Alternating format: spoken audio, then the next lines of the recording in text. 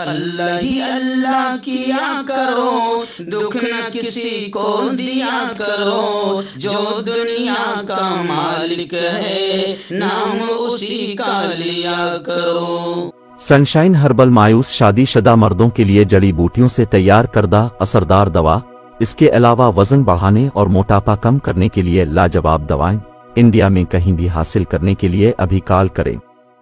असलकम वरहमतुल्लाहि वबरकातुहू नाजरीन इस्तबाल है स्वागत है आपका viral news live studio Jalgaon Maharashtra India में मैं आपका मेज़बान मुफ्ती मोहम्मद हारून नदवी आइए इंटरनेशनल टॉप फाइव न्यूज़ दुनिया की पाँच बड़ी ख़ास अहम ख़बरों पर नज़र डालते हैं। लेकिन सबसे पहले मैं अपील करूँगा कि जो साथी नए हैं और अभी तक इस बेबाक सच्चे चैनल से जुड़े नहीं हैं, अगर आप चाहते हो कि आपको मुल्क, भारत की और पूरी दुनिया की सही और सच्ची खबरें देखने और सुनने को मिलें तो फिर आप इस चैनल से जुड़ जाइए। सब्सक्राइब कर लीजिए हमारे इस चैनल को, बेल आइकॉन, घंटी के बटन को भी दबा दीजिए, ताकि हमारी हर वीडियो, हर खबर आपको आपके मोबाइल पर मिल सके। और हाँ नादरीन हम हर रोज़ एक अपील करते हैं कि प्लीज़ ये एक प्राइवेट चैनल है, और चैनल चलाने के लिए पूरी एक टीम काम कर रही है।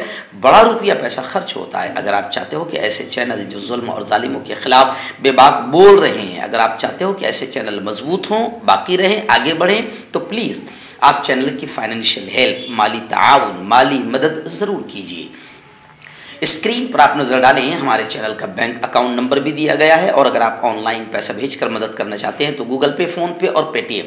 तीनों का एक ही नंबर है, nine six three seven five four one seven eight six. Allah ने जो भी आपको ताकत दी है, उस एतबार से हर दिन, या फिर हफ़्ते, महीने में एक बार ही सही दो सौ पाँच सौ हज़ार, जो भी आप मदद कर सकते हैं, पाबंदी के साथ मदद कीजिए, चैनल को मज़बूत कीजिए, हक और सच के इस मिशन में हमारा साथ दीजिए।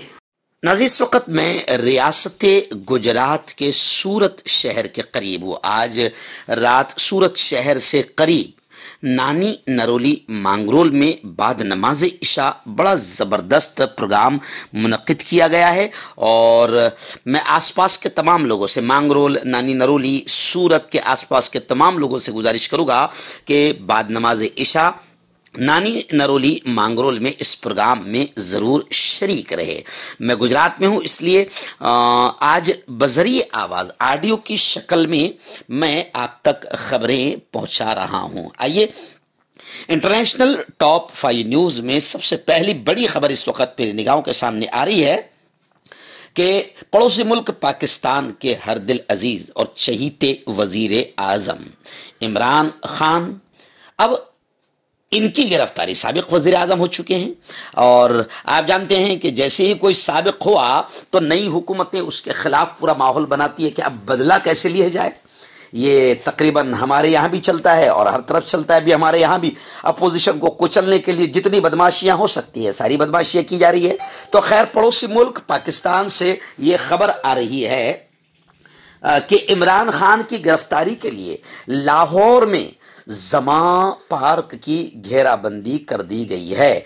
पुलिस और पार्टी कारकुनों में झड़पें भी हुई है। बड़े पैमाने पर यह खबरें आ रही है कि अब इमरान खान को गिरफ़्तार करने के लिए पूरा माहौल बना दिया गया है और पुलिस और पार्टी कारकुनों में झड़पें भी हुई है।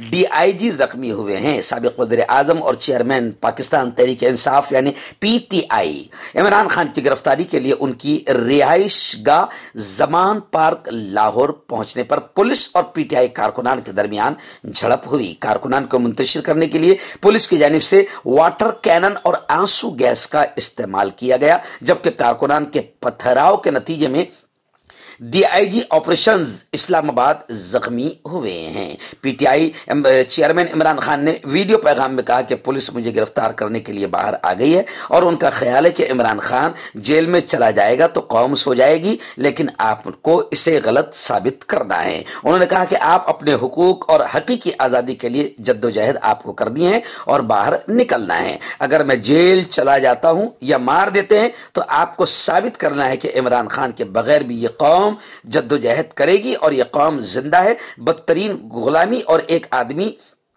मुल्क के जो फैसले कर रहा है, उसे कौम कभी कबूल नहीं करेगी। आइए नाथिन दूसरी बड़ी खबर इस वक्त मेरे निगाहों के सामने। जी हाँ आप जानते हैं कि ईरान और अरब के ताल्लुकात बहाल हो चुके हैं और ईरान और अरब के ताल्लुकात को बहाल करने में चाइना का बहुत बड़ा हाथ है। लेकिन इस मामले को लेकर अब बहुत सारे मुल्क फिक्रमंद है। इस्लाम दुश्मन मुल्क घबराए हुए हैं कि अगर इस्लामी मुल्क आपस में मिलते हैं तो फिर कई हमारी बैंड ना बच जाए। इसलिए हमेशा इस्लाम और मुसलमानों के दुश्मन मुल्क इस्लामी मुल्कों के रहबरों को आपस में लड़ाने की पूरी कोशिशें करते रहते हैं। लेकिन खैर, अभी ये अच्छी खबर है कि ईरान और अरब दोनों के ताल्लुक बेहतर हुए हैं और अभी खबरें आ रही है कि ईरान अरब मुल्कों से बेहतर ताल्लुक का ख्वाहिशमंद है। सऊदी अरब के बाद अब मिस्र, उर्दन और बहरीन के साथ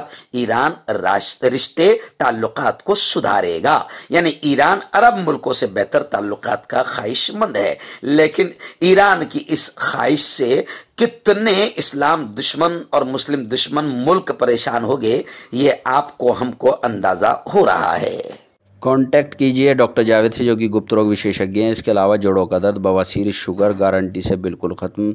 गैस तेज़ाब, लिकोरिया, लीवर, किडनी, गुर्दे में पथरी, अगर आप देश विदेश में उनसे दवाई हासिल करना चाहते हैं, स्क्रीन पर दिए गए नंबर पर कॉन्टैक्ट करें। मर्दाना ताकत हासिल करें, बहत्तर घंटों के अंदर, वो भी जड़ी बूटियों द्वारा हकीम याकूब खां से कांटेक्ट करें, जो कि पिछहत्तर सालों से हिकमत कर रहे हैं। इसके अलावा जोड़ों में दर्द, गुर्दों में पथरी, शुगर, खुजली, लिकोरिया का गारंटी से इलाज किया जाता है, अभी कॉन्टैक्ट आइना दिन, बड़ी खबर आ रही है फ़लस्तीन से तल अबीब से। आप जानते हैं कि इसराइली और यहूदी आतंकवादी जिस तरीके से मासूम फ़लस्तीनियों पर जुल्म करते रहते हैं, मैं सारे हालात को बेबाक अंदाज में पेश करता हूँ। और मैं खुल कर कहता हूँ कि इसराइली फौजी आतंक का नंगा नाच और आतंकवादियों का रोल अदा करते हैं। फ़लस्तीन में, फ़लस्तीन की ज़मीन पर कब्जा किए हुए हैं और मासूम फ़लस्तीनियों को सताते रहते हैं। खैर, अभी इस वक्त बड़ी खबर आ रही है कि एक मामर तरीन, एक बुज़ुर्ग फलस्तीनी कैदी सत्रह साल के बाद इसराइली जेल से रिहा हुए हैं। इसराइली जेल में असलहे की स्मगलिंग के जुर्म में सत्रह साल से कैद मामर तरीन फलस्तीनी कैदी को पीर के रोज रिहाई मिल गई। फलस्तीनी कैदियों के क्लब के तर्जुमान ने मीडिया को बताया कि 83 यानी तिरासी साल के फवाद शोबाकी की अस्कलान जेल से उन्हें रिहा कर दिया गया। और शोबाकी के बेटे हाजिम ने इस बात की तस्दीक की है कि अब वो अपने घर वापस पहुँचने वाले हैं। रिपोर्ट के मुताबिक जैसे ही फवाद शोबाकी फ़लस्तीनी रहनुमा यासिर अरफात के मकबरे पर पहुँचे जो कि उनके करीबी साथी थे। फ़लस्तीनी हुक्म ने फ़लस्तीनी कैफिया में ले, लेटे हुए इस उम्र रशीदा शख्स से मिलने के लिए दौड़ लगा दी। इस मौके पर हर छोटे बच्चों ने तहरीक फतह का झंडा लहराया जबकि खातन ने फ़ख्र से ऐसी टी शर्ट्स पहने हुए नज़र आई जिन पर फवाद शोबाकी की नौजवानी की तस्वीर छपी हुई है। फवाद शोबाकी ने यासिर अरफात के मकबरे पर दुआ करने के बाद कहा कि हम उसी रास्ते पर चलेंगे जिस रास्ते पर चलने के लिए यासिर अरफात ने हमारी रहनुमाई की। हम जुल्म के खिलाफ उनकी मुजाहमत को जारी रखेंगे। चाहे इसकी कोई भी कीमत हमें क्यों ना अदा करनी पड़े। जब हमारे वतन, हमारे लोगों और सीधे रास्ते पर चलते हुए शहीद होने वालों की बात हो तो हमारी जाने बेकार हैं। नजीर ईरान से बड़ी खबर आ रही है। आप जानते हैं कि ईरान में स्कूली बेटियों को जहर देने वाला मामला गरमाया हुआ है और अब खबरें आ रही है कि ईरान में तालिबात पर फिर जहरीली गैस से हमले हुए हैं। एहतजाजी मुजाहरे जारी है। ईरान में तालिबा को जहर दिए जाने के वाक़े की गूंज में गुज्त पीर को एक एहतजाजी मुजाहरा फिर किया गया। इंसानी हकूक की तंजीम ने अपने ट्विटर पर ऐलान किया है कि मुल्क में शिमाल मगरब में मौजूद शहर बाना में गर्ल्स सेकेंडरी स्कूल पर जहरीली गैसों से हमला किया गया। उन्होंने कहा कि जहरीली गैसों से सांस लेने में दुशारी हो रही है। हालत ख़राब होने पर कुछ तालिबात को अस्पताल ले जाया गया। इंसानी हकूक के कारकुनों ने स्कूल के अंदर से ऐसे मनाजिर शेयर किए हैं, जिनमें कुछ ख़ानदानों को जमा होते दिखाया गया। एक एंबुलेंस जख्मियों को ले जाने के लिए रोकी हुई भी दिखाई दी। मुल्क के कई इलाकों में जहर देने के मुश्तबा वाकयात देखने में आए हैं। खासतौर पर स्कूल की तालिबात को निशाना बनाया जा रहा है। इंसानी हकूक के कारकुनों ने इस सूरत हाल का जिम्मेदार हुक्काम को ठहराया है। जहर के हमलों का आगाज़ कौम शहर से उस वक्त हुआ जब वहाँ जहरीली गैस के दरमियान सांस लेने में शदीद रुकावट और आंतों में दर्द के बाईस तालिबात बेहोश हो गई थी। इस तरह अब सैकड़ों स्कूलों में इसी तरह के गैसेस केसेस सामने आए हैं। चंद रोज पहले हुक्काम ने जहर देने के मामले में मुतद गवर्नरेट्स में सौ से जायद मुशतबा अफराद की गिरफ्तारी का ऐलान किया था।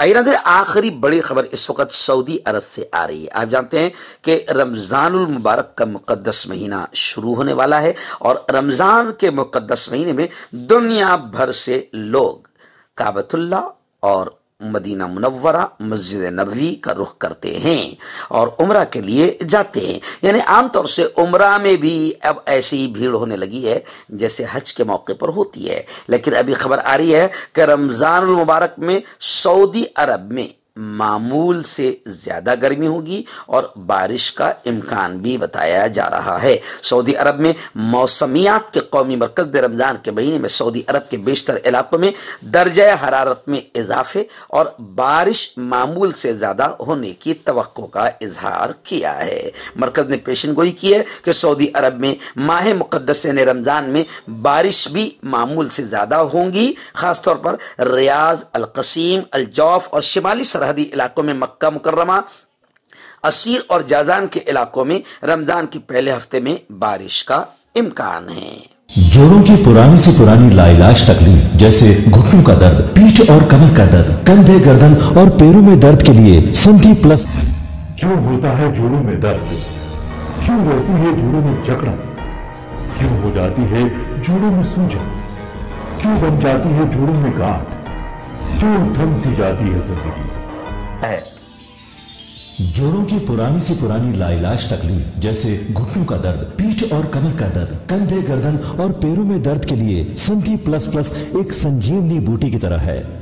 या यू कहे कि एक स्थायी इलाज साबित हो चुका है। लाखों लोग इसे अपना चुके हैं। और दर्द पर विजय प्राप्त कर चुके हैं। जब हम नियमित रूप से संधि प्लस प्लस से मालिश करते हैं तो त्वचा इसे तुरंत ऑब्ज़र्व करके जोड़ों के सूक्ष्मतम अवस्था में पहुँचा देती है, जिससे जोड़ों में ब्लड का सर्कुलेशन बढ़ जाता है और जोड़ों के मांसपेशियों में मजबूती आती है। आंतरिक सूजन समाप्त हो जाती है, जिससे दर्द में आराम तो मिलता ही है, साथ ही साथ जोड़ों में नई शक्ति भी आती है।